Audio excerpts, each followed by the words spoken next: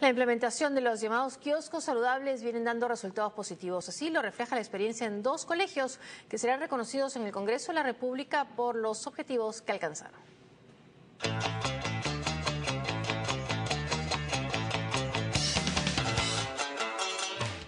Roberto, te vemos súper nutrido. Así. Así. ¿Pancito con qué has traído? Con palta. Palta y arroz chaufa. Sí. ¿Qué más? Mandarina y jugo de piña. ¡Qué rico! ¿Qué te han hablado de la comida chatarra? No, que eso es muy malo porque los dientes, los dientes se caen. No importa la forma en que lo digan, el mensaje va ganando terreno en la mente de los más pequeños. No estoy comiendo, a ver, pan con jamonada, plátano, queque y mi agüita. El programa Kiosco Saludable se puso en marcha en mayo de este año y desde entonces mil y un estrategias se han implementado para mejorar los hábitos alimenticios de menores en edad escolar.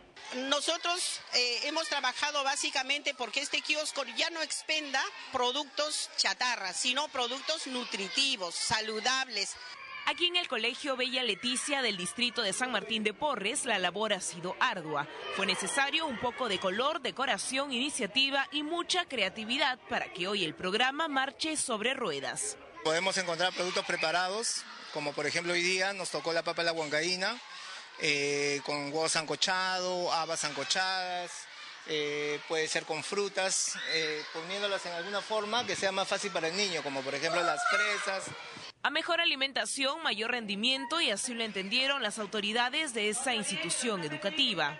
El proceso incluye el indispensable lavado de manos, que supone un adecuado régimen de higiene, y luego buen provecho y a comer. En la institución educativa 1161 de Mirones Alto también le dijeron adiós a la comida chatarra para dar paso a una alimentación sana y balanceada. Nuestros niños pueden vivir un ambiente bastante sano, saludable y estamos pensando en su formación integral de ellos. ¿no? A mí gelatina también con flan también. Y para mí, y para, para, para mí gelatina. Luis Ángel, qué rico. ¿Qué estás comiendo? Mm, leche con... ¿Con fresitas? ¿Fresas? ¿Te encanta? Sí. ¿Y qué tanta acogida tienen las frutas? Sí, buena acogida. Ellos saben que tienen que comer su fruta. Ajá. Sí. En mayor proporción la de estación, ¿no? Mandarina, el plátano. Ahorita la fresa. A este esfuerzo se suman todos y es que saben que es la única forma de lograrlo. Tenemos dos, dos niños que forman parte de la Comisión de Loncheras Saludables y son ellos los que revisan la lonchera todos los días y decomisan eh, lo que no es saludable, ¿no? En este Hoy día, por ejemplo, han decomisado algunos productos. ¿o no? Hemos decomisado quequitos y hemos decomisado yogur.